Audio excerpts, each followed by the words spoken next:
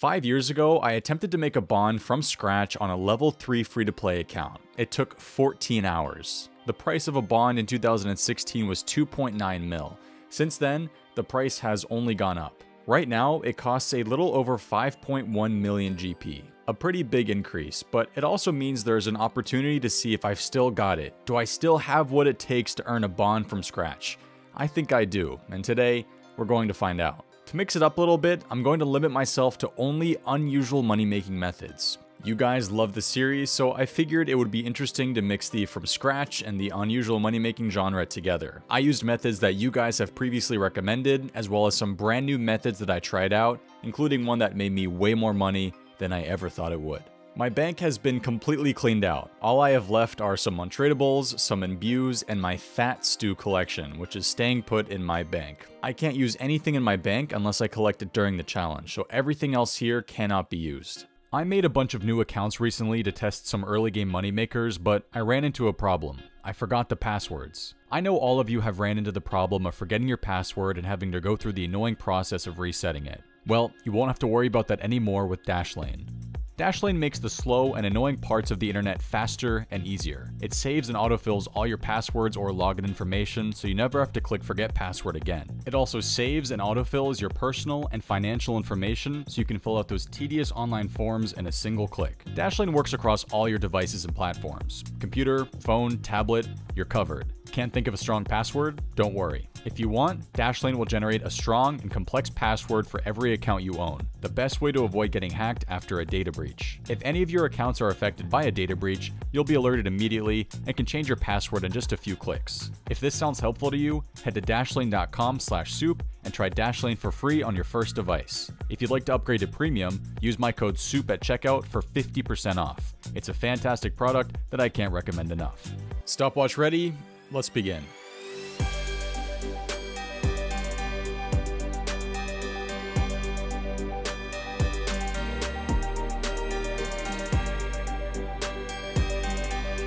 To start off, I need to find a decent method to make a starting cash stack, and thanks to Wild Muffin, I think I found one. Muffin says that if you do the new Getting Ahead quest, you get access to a shelf that gives unlimited red and yellow dyes. The best way to do the method is to run back and forth between the bookshelf and the Farming Guild Bank. Red dyes go for 415 GP each, yellow dyes go for 351. To take a dye from the shelf, you just need to left click on it and press 1 to take a red dye or 2 to take a yellow dye. Since red dye are more expensive than yellow dye, it makes sense to solely focus on red dye. As long as we can get all the dyes to sell, we should end up with a nice cash stack. I'm going to do this for one hour to see how many dyes I can get. I don't have any teleports or stamina potions, so I'll just be running back and forth between here and the Farming Guild Bank, with a mixture of walking and running. Now to find out how many I can grab in one hour.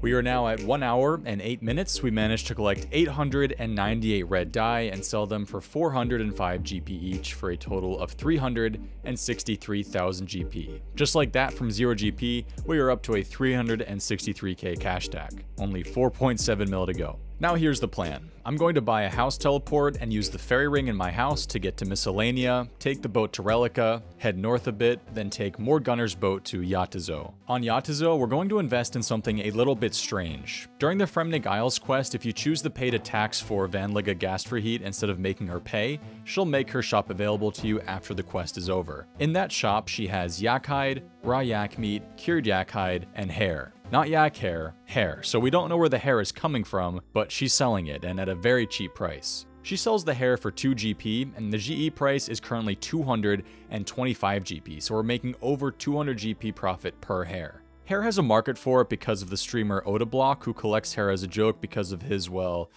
lacking hairline. She has 50 in stock, so we can do two inventories per world. There's a bank pretty much right next to the shop as well, so we're able to bank every inventory very quickly. I'm still going to run out of run every once in a while, but we'll still be able to get a good amount of hair. One hour, let's smuggle some hair.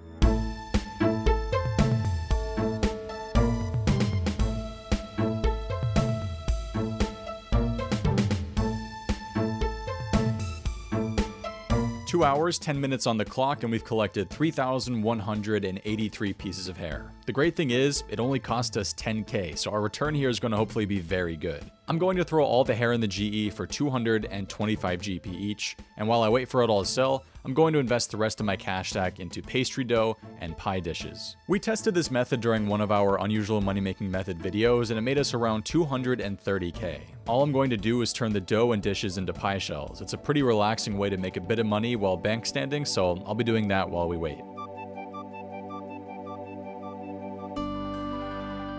Alright, all the hair has sold and we got back 716k. So one hour of buying hair made us 706,000 GP. The best method we've done yet, even better than when we tried it a year ago.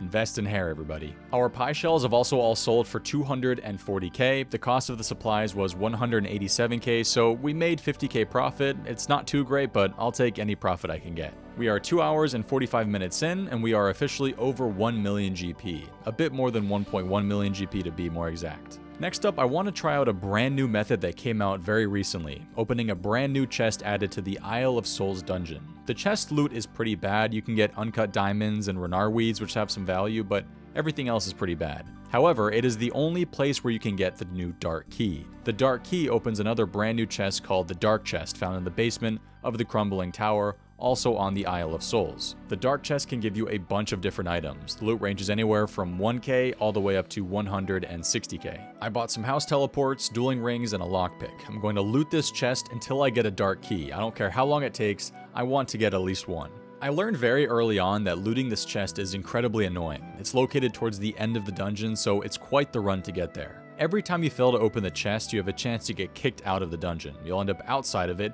and have to run all the way back into the chest. Now I have 91 thieving, so I was hoping that this wouldn't happen too often, but man, it happened very often. I'd say for every full inventory of loot that I got, I was kicked out of the dungeon three to four times. It got to the point where I decided it was worth it just to invest in a couple of stamina potions and bring one with me so I wouldn't keep running out of run energy. So that was kind of annoying. The average inventory was around 25k and took around 15 minutes. I started looting the chests at 2 hours and 50 minutes and I got my first dark key at 4 hours and 30 minutes, so it took almost 2 hours to get the dark key, a bit longer than I was hoping for. If we get a bad item from this dark chest, this could have been a massive waste of time. Luckily, the RNG gods were on our side today we got one of the best drops possible, Grimy Snapdragons, 11 of them worth 92k. I could have gotten 400 Mind Runes worth 1.2k, so I'm pretty happy with this drop. In total, I looted 353 Isle of Souls chests, and the final loot, including the Dark Key loot, added up to 340k. I also snagged a medium clue while doing the chest, but it was only worth 16k. After 4 hours and 40 minutes, we're up to 1,405,000 GP. Next up, I'm going to revisit a method that made me pretty much no GP the first time I tried it, opening up Ogre Coffins with Ogre Coffin keys. Last time, it only made me 100 GP in an hour, but apparently prices have changed a bit, so I'm going to try this again.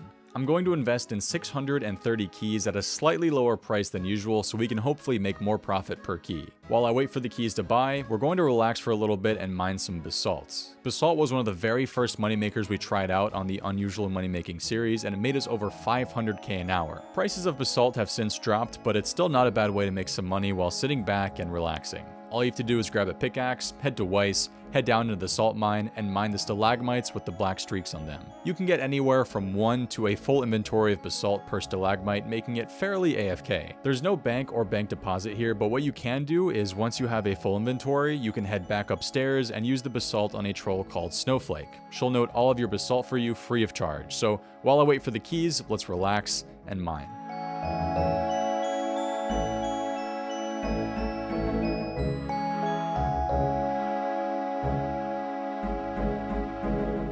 After 50 minutes, all the keys have finally bought. I managed to mine 487 basalt, which sold for 202k. After changing the price a little bit of all the keys, I bought them all for a total of 643k.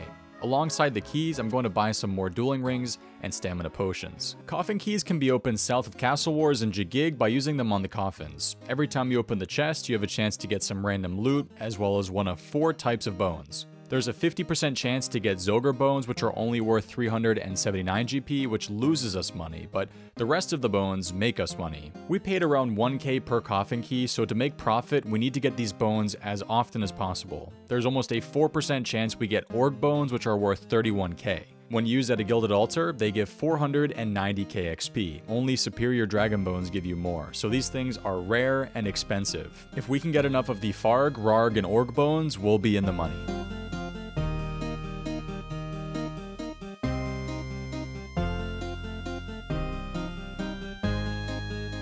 Alright, so we finished using all the keys after 53 minutes, and here's what the final loot looks like. 1.4 million GP. That is very good. The last time I did this, I only made 100 GP. This time, after selling all the loot, I walked away with 1,339,000 GP. Good for a profit of 695k. We also got an easy clue, and the loot was a Highwayman mask and 6 purple sweets worth 84k, so very good. 6 hours and 31 minutes in, and we're up to 2,344,000 GP. Almost halfway. I think it's time to bring out my secret weapon, a moneymaker that I think has the chance to seriously grow our cash stack. I'm going to buy 600 planks, 600 clockworks, and some teleport to house runes. If you have 85 crafting and a crafting table 4 in your house, you can make toy cats. Toy cats can be released and they'll follow you around like a pet. They are the only type of pet that can be traded with another player. Because of the high requirements and uncommon method of making them, you can make quite a bit of money. A clockwork and a plank go for a combined 964 GP. When looking at the price of a cat on the GE, I noticed that the actively traded price was over 3600 GP, which means that per toy cat, we're making 2600 GP. Whoa. It's super easy to make the cats. You click on the workbench, press 4, then 5, and you've made a cat, and you get 15 crafting XP per one. You don't have to wait for the menu to pop up either, you can just left click, instantly tap 4 5 and the cat gets made. After a finished inventory, I teleport to Castle Wars, get out more supplies, and repeat the process. A little less than one hour later, we've got 595 toy cats and 5 toy mice which I accidentally made. It's my bedtime so I'm going to leave all these cats in overnight and hope that they sell. Good morning everyone, I've woken up to a fantastic sight. All of my toy cats have sold for 3600 GP each, making us a total of 2,134,000 GP. We spent 590k on supplies, which means we profited 1.5 mil. That is by far some of the best profit I've ever made testing any unusual moneymaker. Our cash stack is now 3.9 million GP. We're almost there. Now I feel like it'd be kind of silly to not use this method a bit more with how much money we made from it, so I'm going to buy another 400 clockworks and planks and make a few more of these luscious golden toy cats.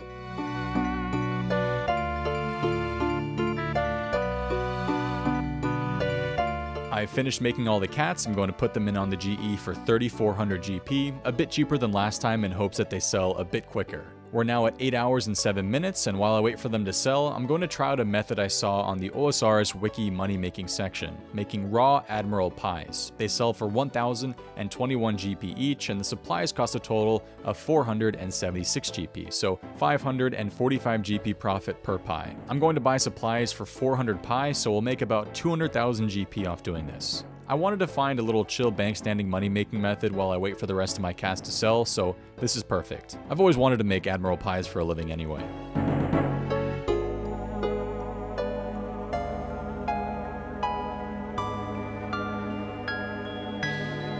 I finished making all the Admiral pies and sold them for 408k. I'm still waiting for the final 100 toy cast to sell, but I don't really feel like waiting because I think we're very close to being able to buy a bond, so I'm just going to cancel the offer and put them in for 2k, which should instant sell and give us enough money to buy a bond.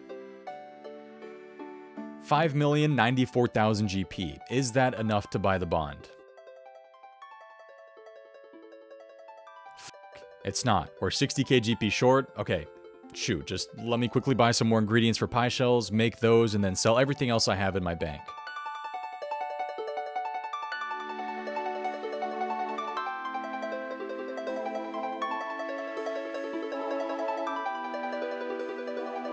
Okay, here we go. We're almost at the 9 hour mark. I just need to sell everything and we should be good. The final offer for a bond is going to be 5,160,000 GP. If this doesn't buy a bond, I'll be very sad. Oh, Oh wait, a bot, nice. Stop the clock. We've done it. One bond from scratch doing only unusual money making methods in 8 hours, 54 minutes, and 56 seconds. We've managed to do it just before the 9 hour mark. Mission success. Thanks for watching today's video. If you enjoyed it, make sure to leave a like and subscribe if you're new. I've now got a bond and no one to give it to. I'm pretty set on membership on this account, so how about I give it away to one of you? I'm probably going to try this out again in the future, so along with your suggestions for what methods I should try out, also leave a time for how long you think it'll take me to get a bond. If you want me to pretend to be a girl for GP and think it'll take 6 hours and 35 minutes, just leave a comment like this. The closest guess wins the bond. If you want to watch more of my content, check out my video on discovering a new RuneScape cheat and my last unusual money making methods video.